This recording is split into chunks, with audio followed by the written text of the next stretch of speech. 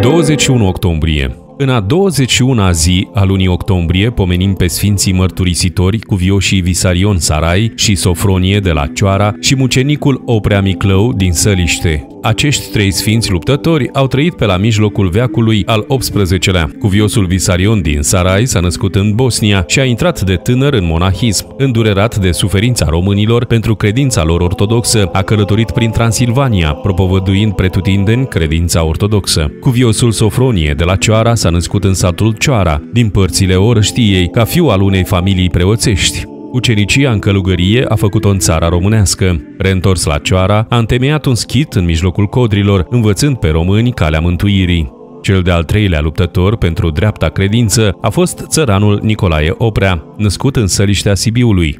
Fericitul Oprea a primit ca pe o mare cinste sarcina să ducă la împăratul plângerile românilor. În loc să îi se împlinească cererile, fericitul Oprea a fost închis pe viață. În această perioadă se zice că dacă se tunde coama cailor până la 3 ani, vor avea păr frumos.